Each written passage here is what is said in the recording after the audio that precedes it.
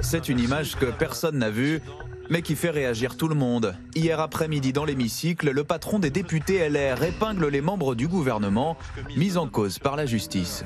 De moins de 15 ans. Huit mises en examen, dont celle du secrétaire général de la présidence de la République, excusé du peu, et, pardon, euh, monsieur le garde, celle du garde des Sceaux, accusé l'un et l'autre de prise illégale d'intérêt. Éric Dupont-Moretti, directement visé, lance alors un bras d'honneur au moment où le député quitte le pupitre provoquant un tollé à droite. C'est quelque chose d'assez inqualifiable.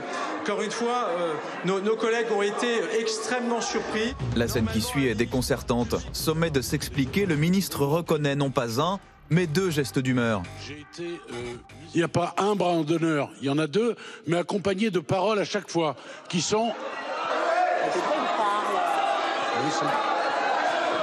monsieur, le, monsieur le ministre, de quoi vous parlez exactement? Vous avez fait deux bras d'honneur, c'est ce que vous êtes en train de dire à l'Assemblée?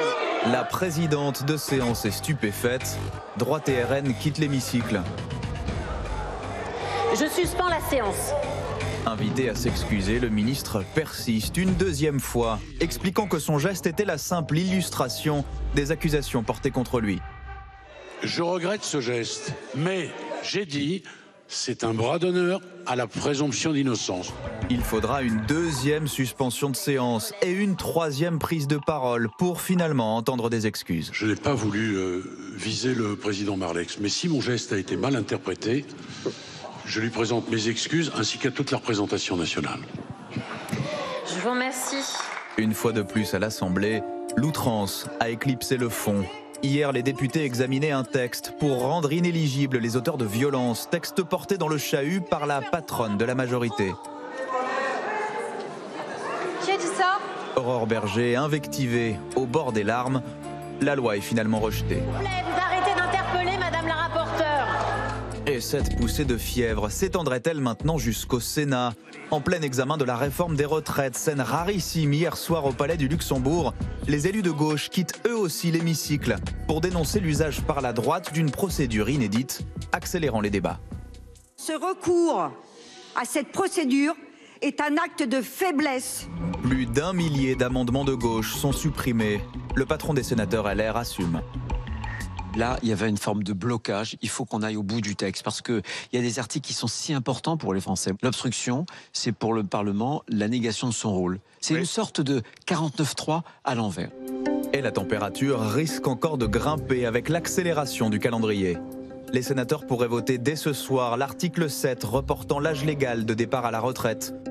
Puis dimanche soir minuit, le projet de loi quittera le Sénat pour arriver mercredi en commission mixte paritaire chargée d'écrire la mouture finale.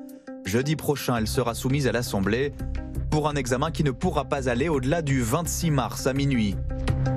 Pour éviter à tout prix un recours au 49-3, la majorité menace désormais ses propres députés qui envisagent de s'abstenir.